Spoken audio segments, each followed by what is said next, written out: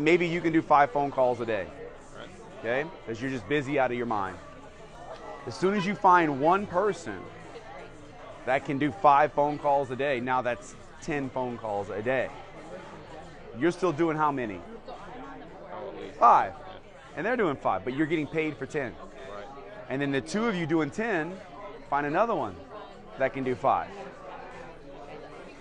Now it's 15 calls a day. Okay? So my group, our group right now, we have about 10,000 distributors.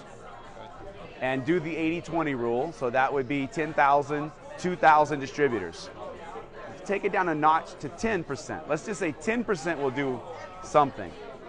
It's a thousand phone calls in a day. How many days would it take me to do a thousand phone calls? Quite a few. Months Yeah. or a month.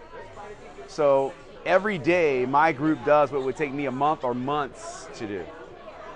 And that's how we get to live total freedom. That's, that's the beauty of network marketing. So if you can survive the noes, if you can survive the emotional roller coaster, you'll win this thing big. But that's the difference between the people that make it and don't, the mental strength to make it through the noes. You just got to know what you know and not care. I mean, just don't care what other people think.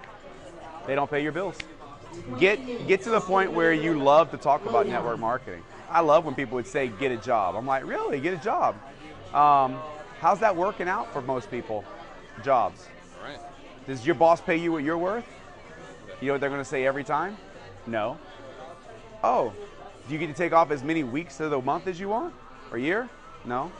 Why would I want a job? Why would I want to do something that I'm not paid what I worth? I don't get to do what I want. Why, why would I want that?